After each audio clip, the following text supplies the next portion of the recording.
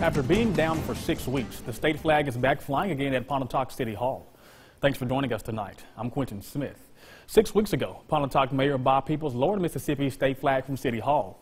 Now, that decision caused a lot of controversy around town. So, today, city leaders called a special meeting to decide the fate of the flag.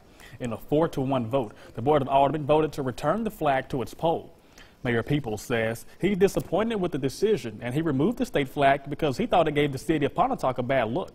Now, residents had mixed opinions on the matter. Some were upset about the mayor's decision to remove the flag without telling anyone, while others applauded the move.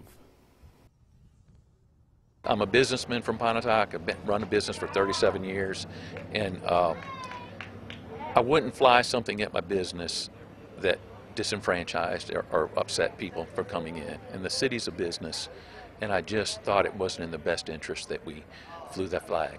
It's been a been a battle and a fight because of the the Confederate battle flag emblem being on the flag, uh, because a lot of people. Uh, uh, um, uh, there's a you know a bunch of people that are relating that to uh, to racism and slavery and uh, things that just it's not pertaining to. Uh, it, it is part of heritage and it's part of history. If people would just read and learn, uh, they would learn the difference. Now, the flag is currently at half staff to honor the victims of last week's shooting in Florida. There's still no word yet on when it'll go back to full staff.